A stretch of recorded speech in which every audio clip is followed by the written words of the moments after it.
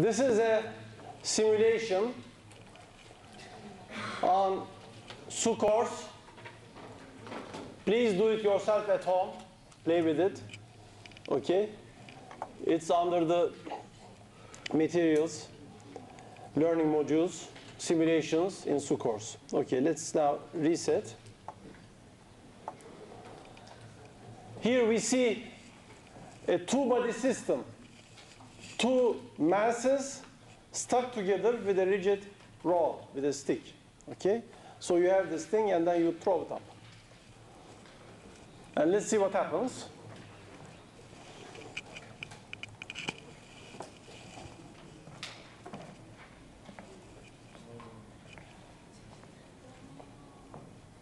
Okay?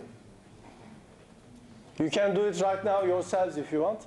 Uh, throw your pencil in some direction without hitting your friends, and it will do exactly this. Okay?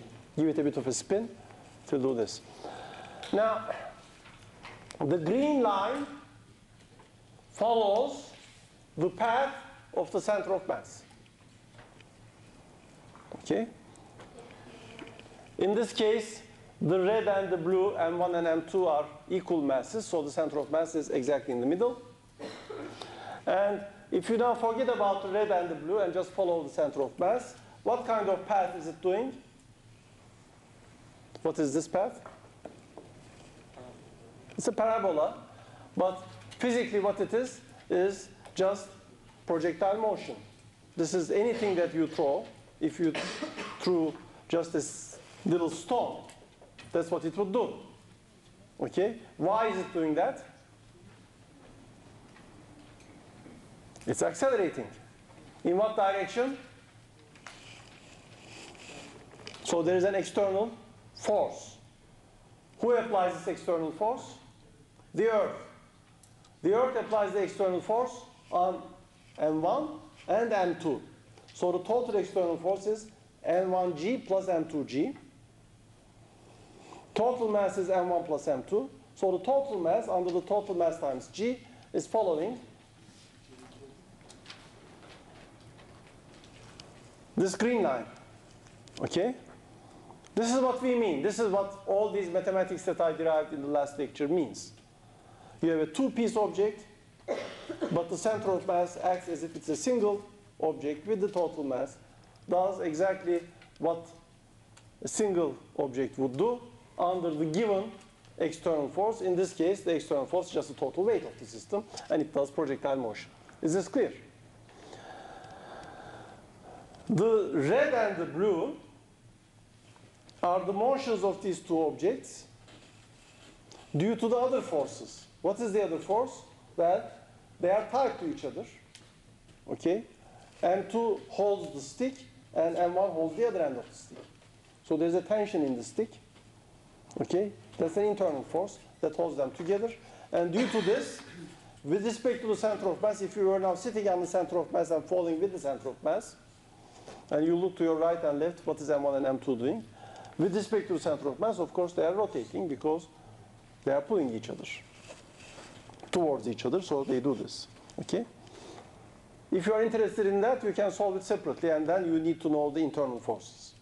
But if you are not interested in what's, what's happening inside the system, okay, you could have a very complicated system.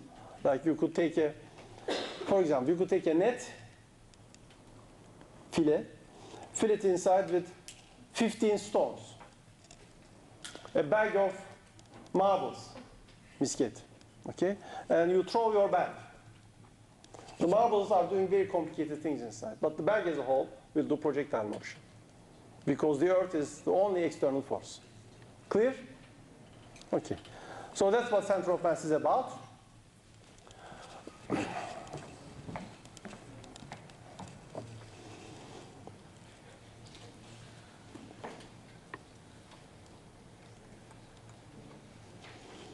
Okay.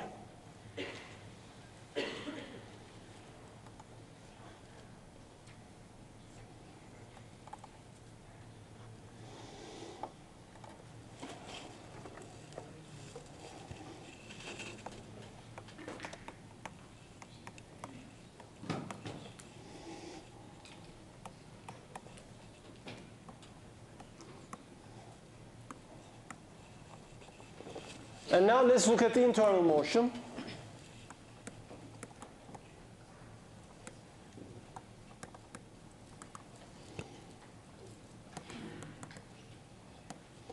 For two objects, we call that a collision. Literally, in Turkish, collision is çarpışma. It doesn't have to really be a collision. It means they are interacting with each other. An example is here is the Earth.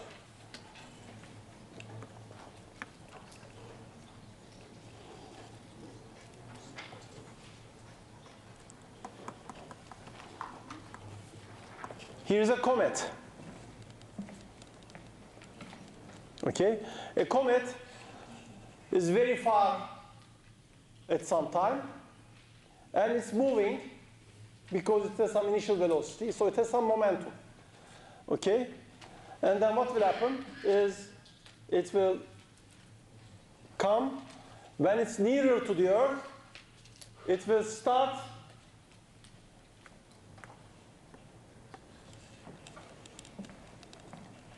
to feel the pull of the Earth, so it will start to accelerate. The nearer it gets, the more the acceleration. And then it will bend its motion like this. Now, what is the Earth doing? Well, the center of mass of the system is very close to the center of the Earth, but not exactly at the center. Okay, so the center of mass is somewhere here. Okay? So the Earth is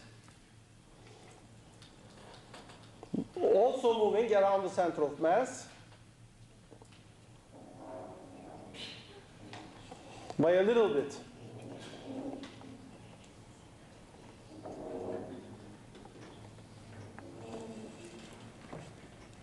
So that the total momentum of the Earth, it's moving around the sun, right? Total momentum of the Earth plus the total momentum of the, well, the total momentum of the Earth plus the comet, which was like this originally, okay? If there was no sun at all, this total is a vector like, let's say this, it would continue. As the Earth does this and the comet does that, their center of mass moves in a straight line if there is no sun. Because of the sun, it will bend. All right? So the collision means now you understand what the center of mass is doing. You go and sit on the center of mass and look what the two objects are doing with respect to each other. Okay? That's a collision. And we won't spend much time on this, but I'll just show you some other cases. Okay? If I have instead m1 equals m2, two equal masses. Okay? You throw, for example, you throw a proton against an antiproton, which is another particle. Proton has plus charge, antiproton has minus charge. You could do that at CERN. Okay? And you fire them towards each other. Okay, what will happen?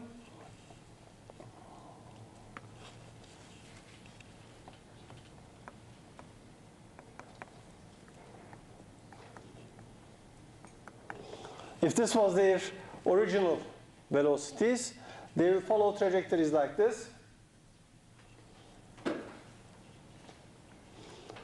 Here is the center of mass. They attract each other, they go to opposite sides of each other and go away. During all of this time, okay,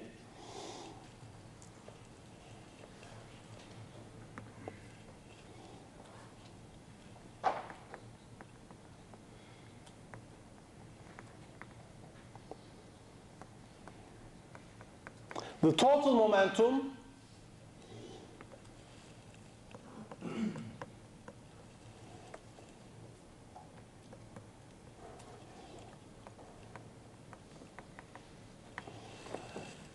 does not change if there are no external forces.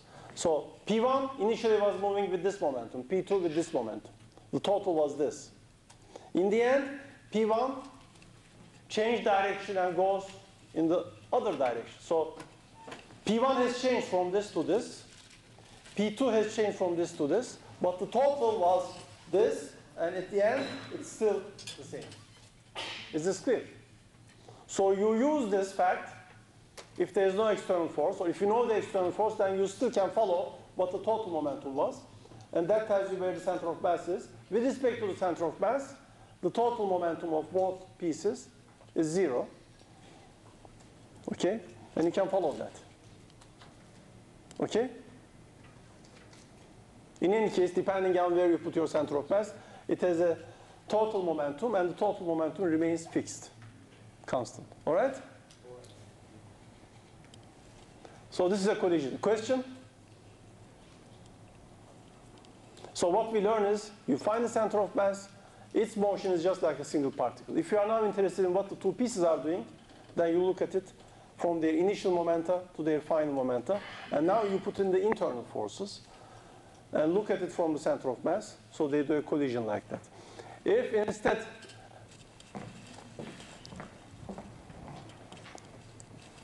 you have a repulsive force,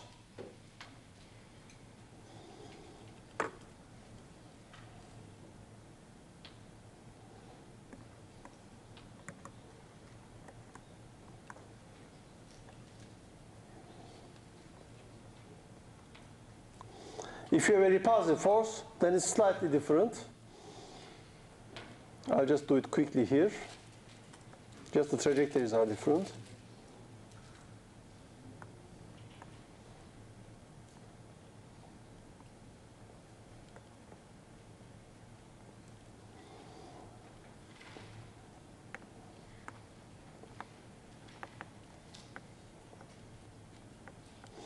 The same analysis, total momentum is fixed, holds, but if they're repulsive forces, of course, they don't attract each other and get to the other side of each other. Before they get to the other side, they start to push each other away. So repulsive forces collide like this. Attractive forces collide like that. Okay? Clear? So now we have finished all of our discussion about momentum and center of mass. I'll give you some examples, some problems assigned, so you can do some exercises. And now I'm moving on to the next topic, which is energy.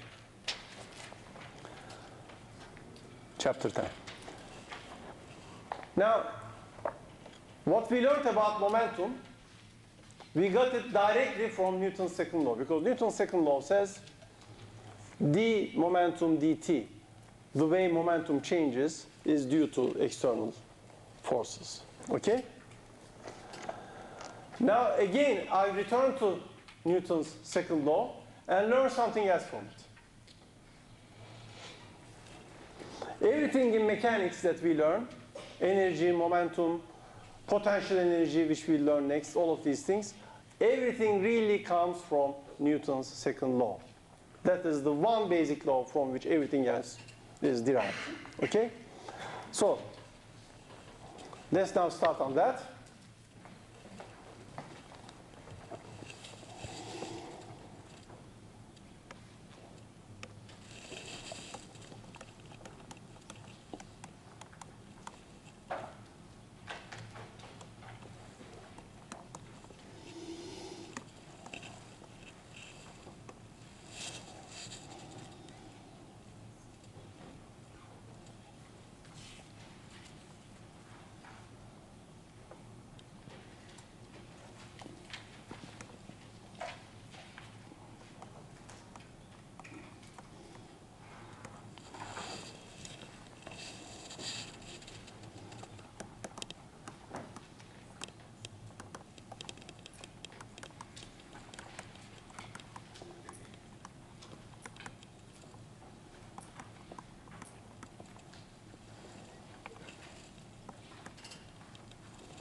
Okay, here is Newton's second law.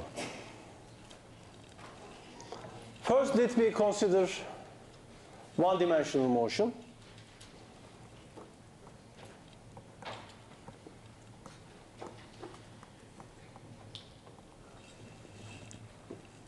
Okay? Now I'll do a little trick. Why? Well, you will see why in the end. Of course, when Newton formulated his laws, many other scientists, Newton himself and others, and mathematicians, played with these laws and tried to get ways to express these laws in different ways. Some of these different ways turn out to be very useful. That's what we are doing. So you have an equation you want to play with it. What you do is you multiply both sides with various things. And here's what we do.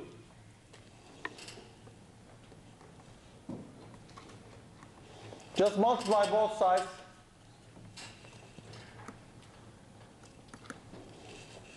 with the velocity. I'm doing one dimension, so Vx. Okay? Let's see what this gives us. This is simply fx dx dt.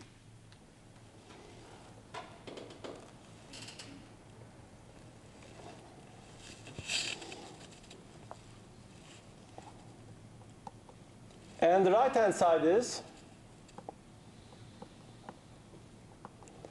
well, I have here v times dvx. This is simply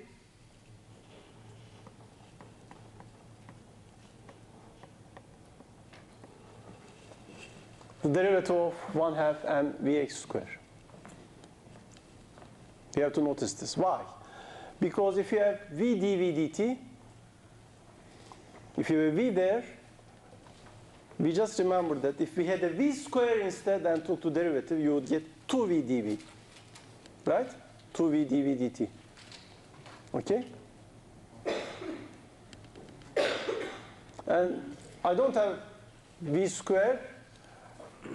I have 1 half v square there because if you have 1 half v square, this derivative is exactly just 1v, not 2v. Okay?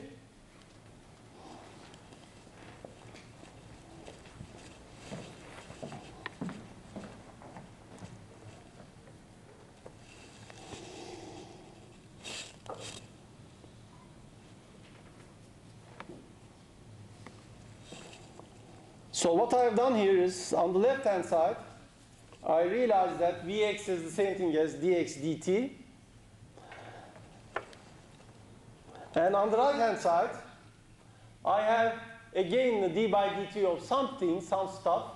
And I just noticed that if you have v dv dt, that's the same thing as d dt of 1 half v squared.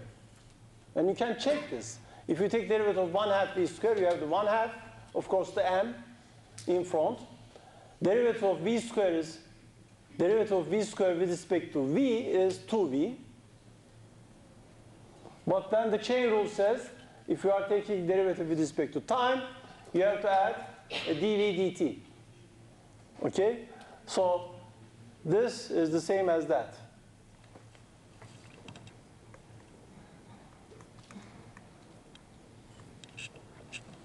Okay? Does anybody understand what I have done here? No. So I will repeat.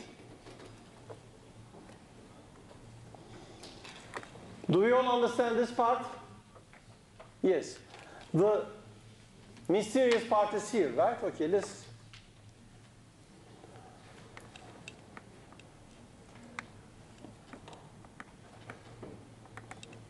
Let's do it again.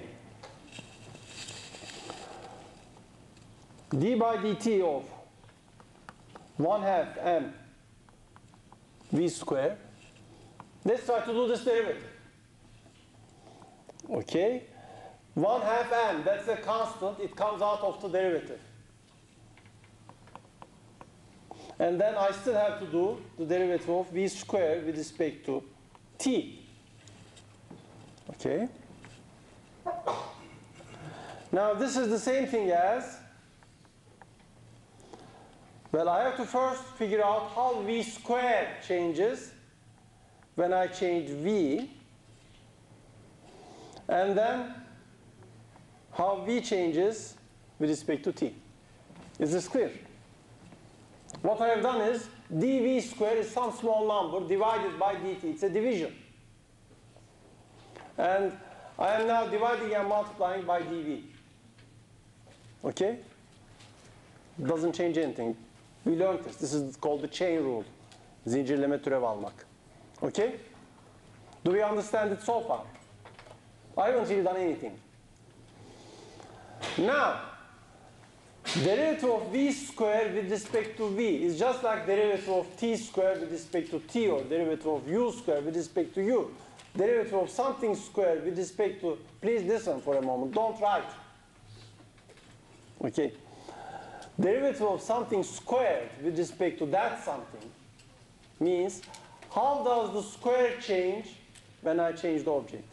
So here I am first trying to figure out how does v squared change because I changed v. Then I'll have to multiply this with how does v change with respect to t. Is this clear? Now, now it's easy. Because how does v squared change with respect to v? It's just 2v. Remember, we learned at the beginning of the derivative, how does x squared change when I change x? 2x. How does x to the power n change when I change x? n times x to the n minus 1. So I know this. Okay?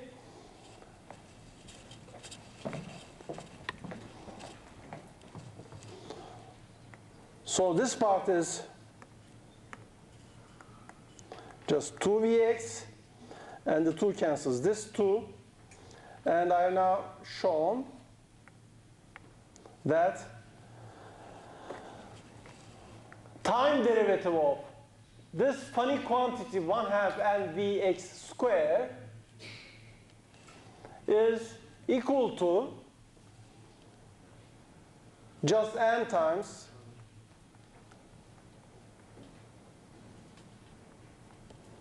dvx dt.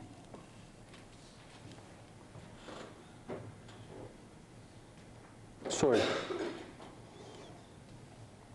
And vx dvx dt. Okay? Which is what I started with. You see, I started with Newton's second law. I multiplied by vx on both sides.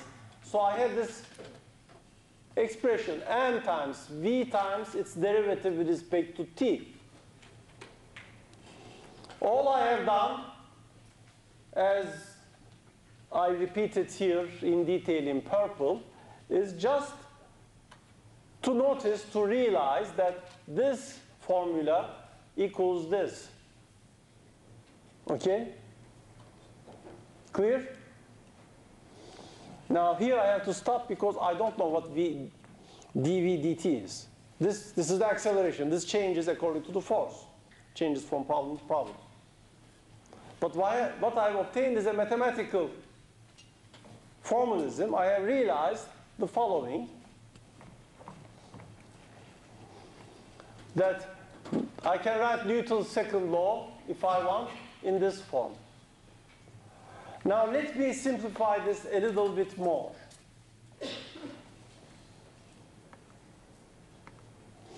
I notice that both sides are being divided by a very, very short time interval dt. It is division by the same thing on both sides. So I can cancel it. Okay? And I have now obtain the following result.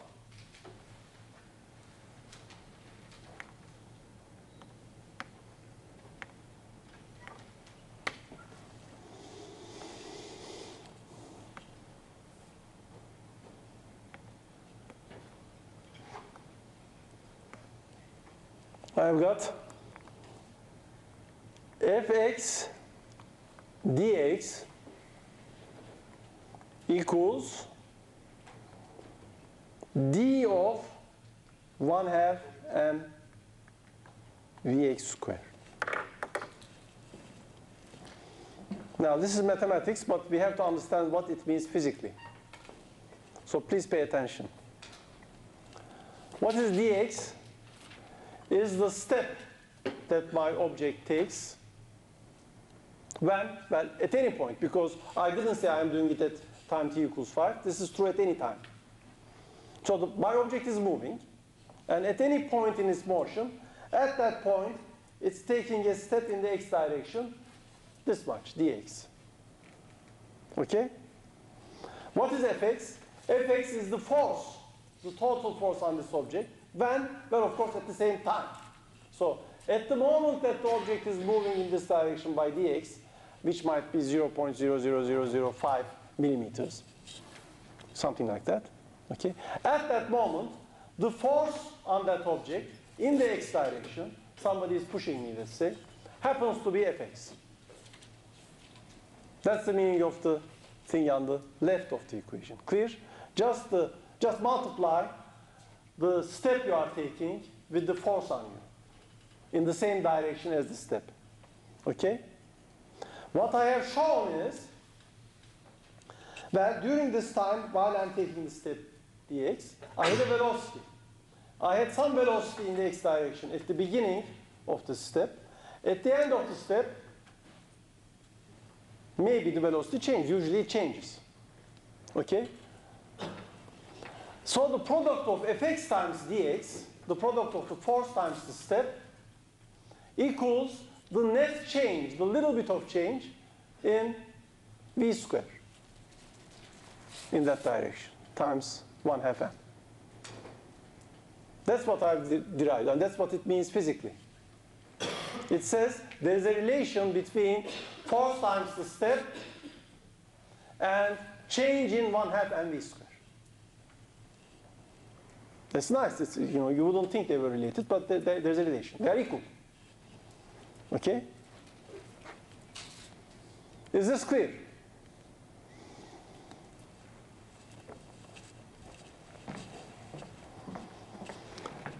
Now, if this is true in the x direction, of course, I could do the y and z directions of Newton's second law also, and it will be true in all directions.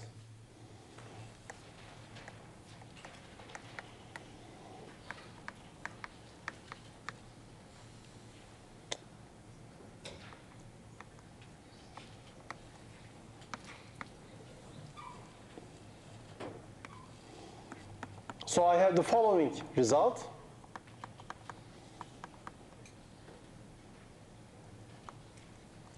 The little change in 1 half m vx square, but similarly fy dy equals the little bit of change in 1 half m vy square, and fz dz equals the little bit of change in 1 half m vz square.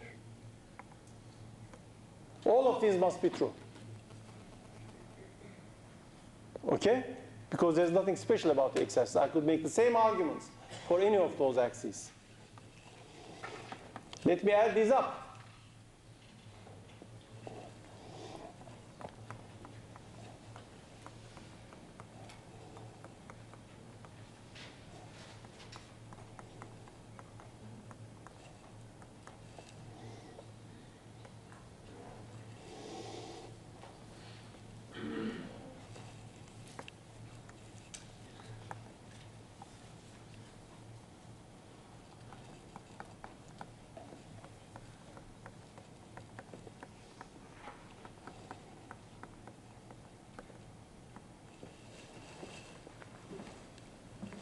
Okay? Now, can I simplify this a little more? Well, look at the right-hand side of this equation.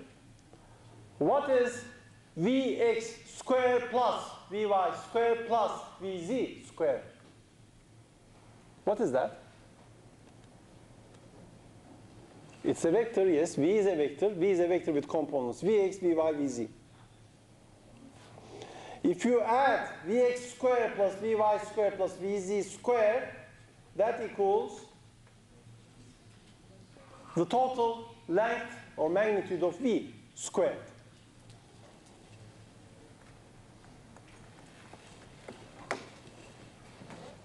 So it doesn't matter which direction I call x, which y, which z. If I have a certain velocity vector, I have found that the total velocity square, 1 half m times total velocity square, is something important. Okay? Now let us look at the left-hand side.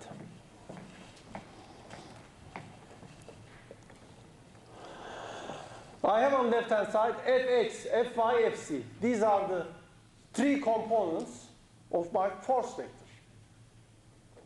And then I have dx, which is the step at any particular moment that the particle was moving in the x direction.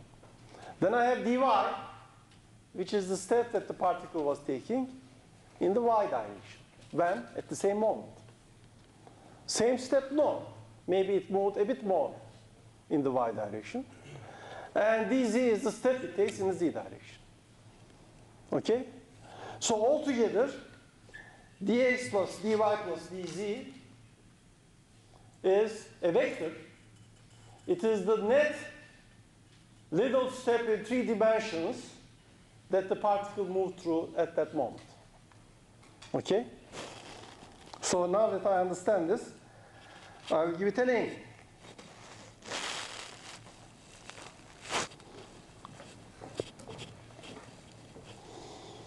Okay, let's see now. My particle is moving like that. So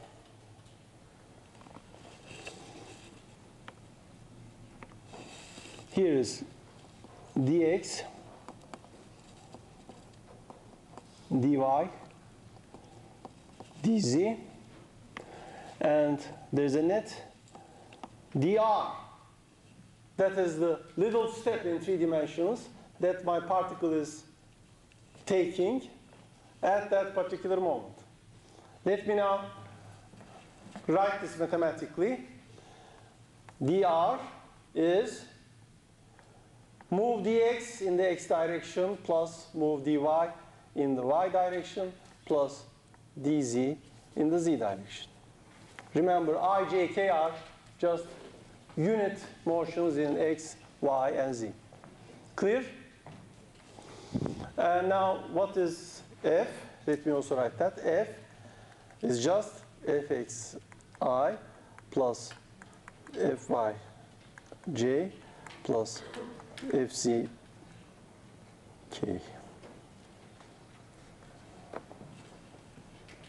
So I have my result.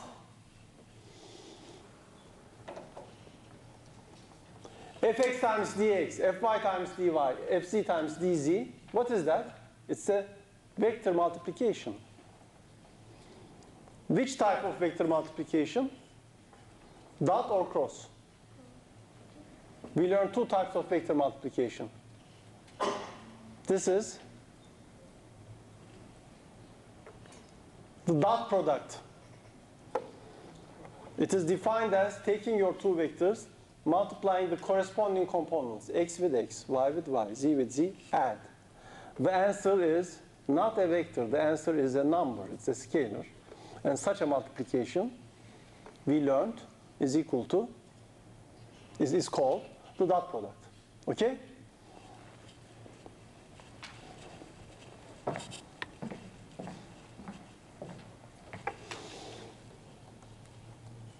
So we have obtained f dot dr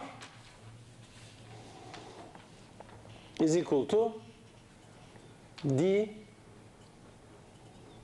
of 1 half m v square.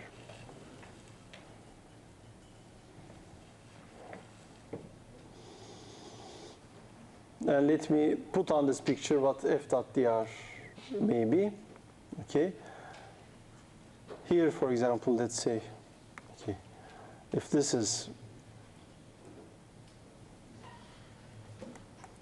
if this is f,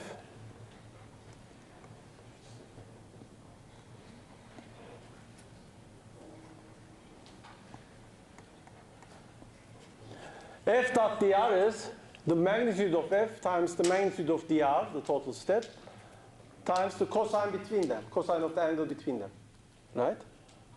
That's what f dot dr is, as we showed when we learned vectors. All right, so we have learned, starting from Newton's law, we have learned something interesting. At any point during this motion, if you take the force at that moment times the vector step dr, their dot product, equals the change in the quantity 1 half m times the speed square during that moment, during that step. Okay?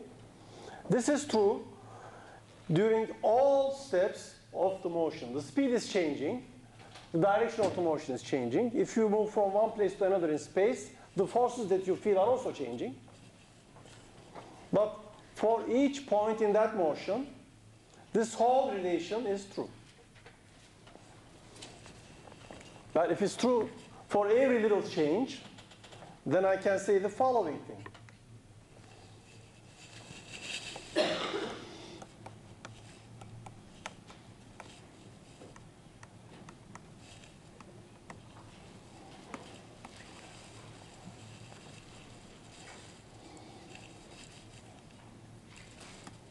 I can add this equality for all steps of the motion and I obtain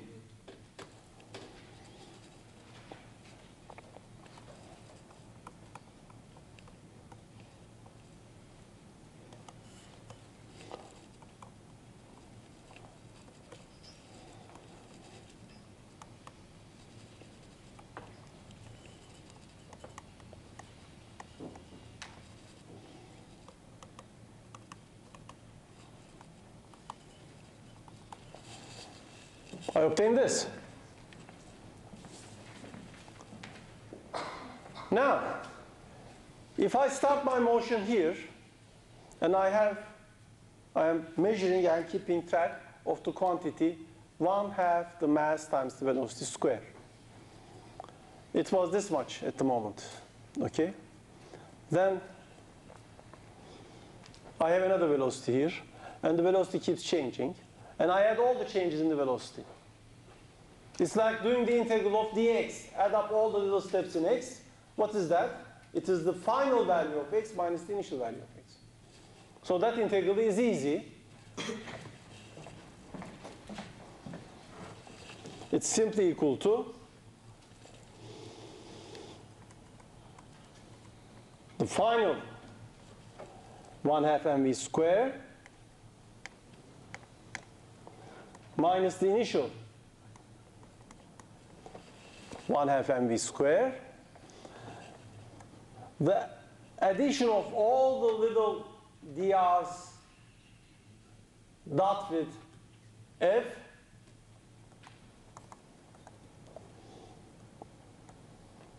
equals just the final 1 half mv square minus the initial 1 half mv square. Where did I get this? I got it with simple algebra and integration from Newton's second law. Now, I see that in my formula, an important quantity occurs. It must be important, since it occurs in such a simple formula. 1 half mass times velocity square. So instead of saying 1 half mass times velocity square, of course, you give it a name. This is called kinetic energy. This derivation shows you where this formula 1 half mv square comes from. Where does the 1 half come from? Okay, we saw where it comes from during the derivation. Okay?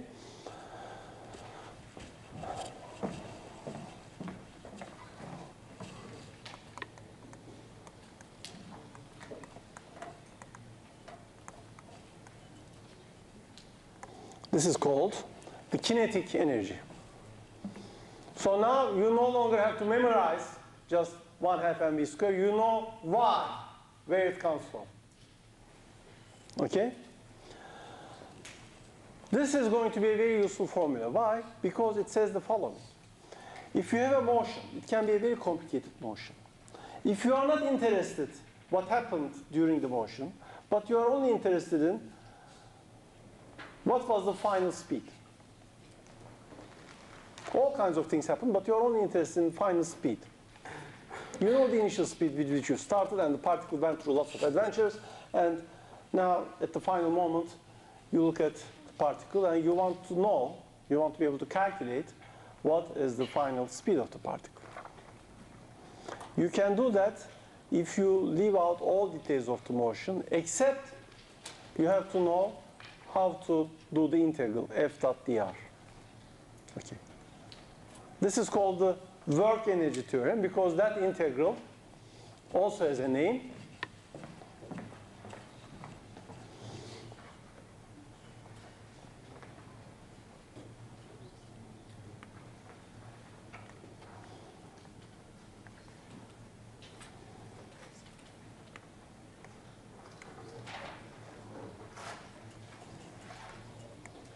This is called the work done by the force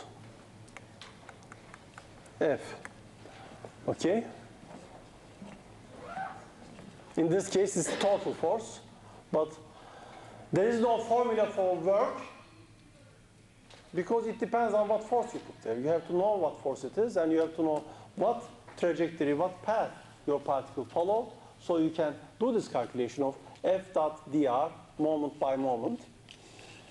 If you are able to do this calculation, which is not always easy and there is no general formula, but if you can calculate somehow the work, okay, then you know how the kinetic energy changed.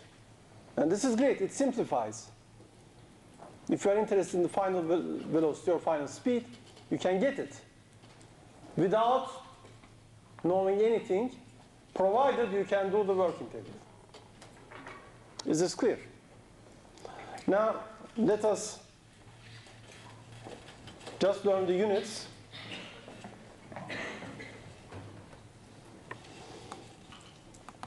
Unit of work is dimensionally it must be an F times the length, okay?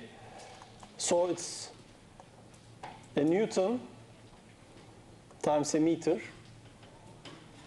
And what was a Newton? Kilogram meter per second square times another meter. So the unit of work is kilogram meter square per second square. Okay? Which of course is also the unit of kinetic energy. Right?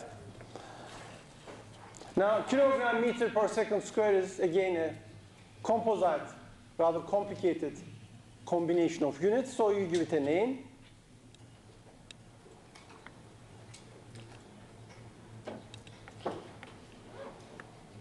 You define it as the joule. Okay?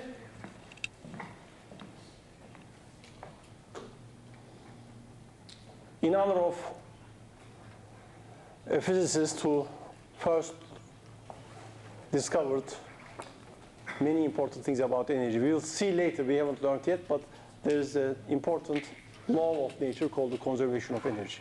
So far we have just learned that 1 half mv square is an important concept, so we give it a name, we call it kinetic energy.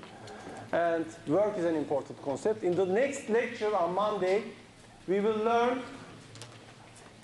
under what conditions is it easy to calculate work? And you learn the concept of potential energy. That's for Monday. Okay?